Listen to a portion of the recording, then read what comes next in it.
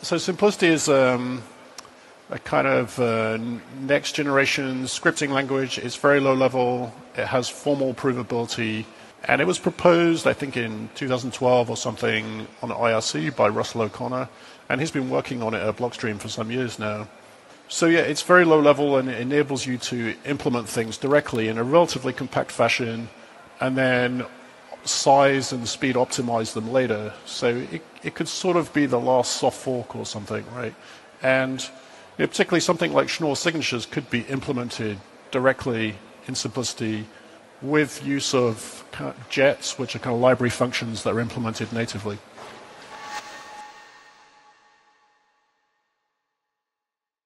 Bitcoin script. So today Bitcoin has a smart contracting language, very simple language, which is a predicate that allows you to spend a Bitcoin.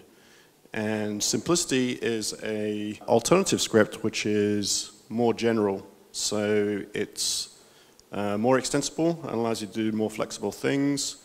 So Bitcoin script is kind of large operations like uh, is a digital signature valid and things like that, the most, most common operations. Simplicity is a very low level language, so it's actually lower than assembly language in the sense that it's talking about very low level objects like bits and bit strings and sets and mathematical operators and combinators.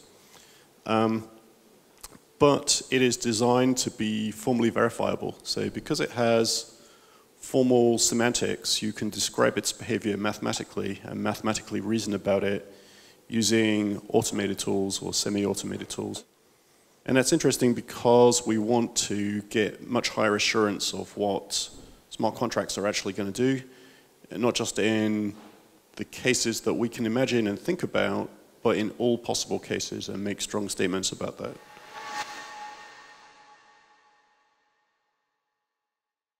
You know, the ambition originally with this, bearing in mind that simplicity as a concept predates Blockstream by a couple of years. So the original ambition was to build a second generation script system for Bitcoin by Russell O'Connor. And Russell O'Connor has been involved in Bitcoin since uh, at least 2012, maybe 2011, and implemented a, a, version of Bitcoin in Haskell, which is a more tightly defined language.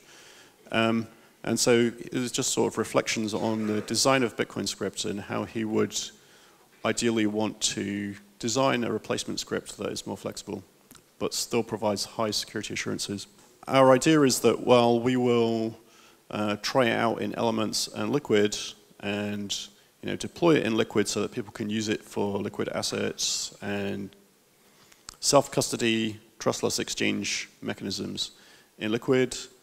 Um, and prove out the technology uh, so that you know if there's interest eventually that might find its way back into Bitcoin.